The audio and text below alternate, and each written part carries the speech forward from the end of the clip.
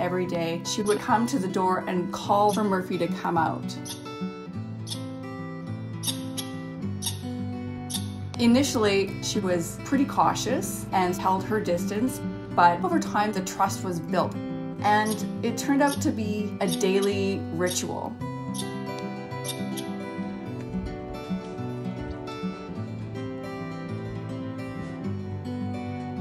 Should be out there. Sometimes Murphy would come out and bring her gifts. He's just a very tender, sweet, loving dog who happened to fall in love with this red squirrel. Then we noticed that Chippy had not been coming around so much. He was really sad. He would stand by the window with different gifts, hoping she would come back. So we decided to get him a new toy. Alright, look what's inside. Oh, it's a little chippy. He adored it. It was his favorite toy. We had to wash it so many times. And then, in several weeks, she came back. He had a toy in his mouth and he was doing a little dance. It was one of the purest moments. Is that Chippy? Oh my goodness, I think she's back. And we realized Chippy had gone away because she was pregnant and she had babies. And then she started to bring her babies to meet him. He just seemed to enjoy the pure joy of that moment. Did the baby come say hi? We noticed one little guy had no tail. I think he was attacked by a magpie.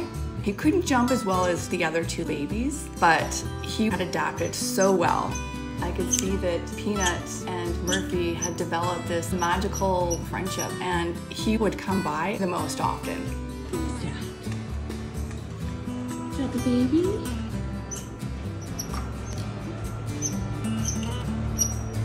He calling you? So we decided to get a little picnic table for Peanut as a gift for Murphy.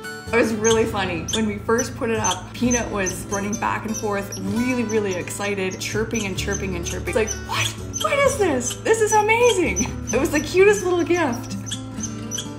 Now, Murphy goes right over to the picnic table and waits for Peanut. He just knows, okay, this is our meeting spot.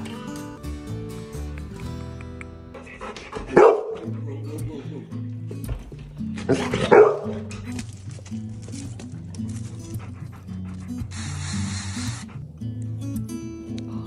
do you think, Murph? This whole journey has been precious to witness. It's the story of friendship without boundaries.